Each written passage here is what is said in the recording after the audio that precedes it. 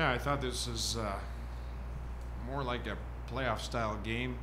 Uh, we certainly didn't start the way we wanted. It was almost a tale of two games for us. The first 30 weren't good, and the, the next 30 got a little bit better. Fortunately for us, we got some points. They're a very good opponent, and uh, I thought they uh, won the majority of puck races and wall battles in the first 30, and then we were able to uh, at least be even in, in the second half of the game.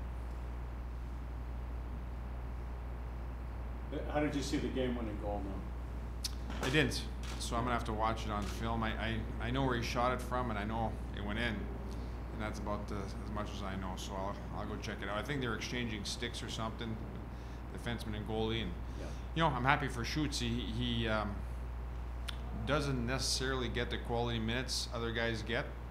He might get more now, but uh, overall, I'm very happy for him. I put him out there because he had energy, and he was winning puck races. Okay, Gary, you Was, was uh, anything in particular just that you said to the players in the second mission that maybe got them really going late? No, we, we, we, you know, we discussed a few things, but overall, we challenged our team to believe in each other because I do think we were better than what we were showing in the first two periods. I feel like it was just fundamental, simple hockey. The, the third goal, just get it, put it on net. Hope for the best. Yeah, a lot of times when uh, things get really heated out and playoffs are the same way. If you put enough pucks on net, you're going to get uh, rewarded at times. And I thought there was a number of goals that were net front tonight from both teams.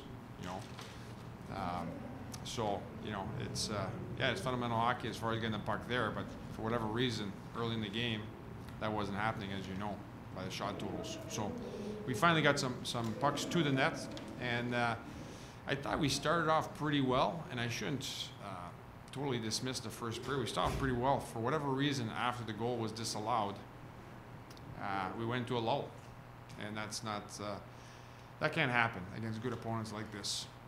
How did you see the goal disallowed? I- I know they announced goalie interference, but did they say anything else to you? No, in, in, in- fairness to the officials, they said that uh, there was interference with the goaltender. Because I don't have an iPad on the bench or something, you know, there's only so much you can discuss, and I don't want to. Uh, I didn't want to discuss or, or argue with the officials because you don't win those battles, and uh, we just move on. But we had to move on a little bit better than we did because uh, that lull was a little too uh, too big for, for us. I don't think we got too many shots in that period.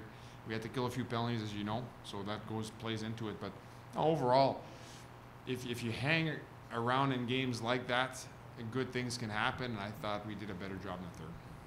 Could you talk about the crowd's energy and how maybe the players fed off of it? Yeah, I'm glad you asked that because uh, I think that was a, the, one of the better crowds we've had all year, and no question the kids fed into it. To, you know, they were looking for the winning goal for a couple shifts there. You know, Andre Lee took a puck to the net that was, I thought that was going in, and then Sodergren had an opportunity, and then Hausinger had a look, um, and then Schutze obviously put it in. So it's nice to see something go in, and they've been uh, kind of snake bit a little bit, but maybe this will break it. What do you expect tomorrow in, uh, game two? Well, this is Hockey East. You guys know this. It's uh, very good coaches over there and an excellent hockey team. One one game doesn't make a weekend. It's going to be even harder tomorrow. And uh, we'll go up there, we're ready to do battle, and uh, I expect the same fast pace uh, game. Thanks, guys. Thank you. Thanks. Thank you.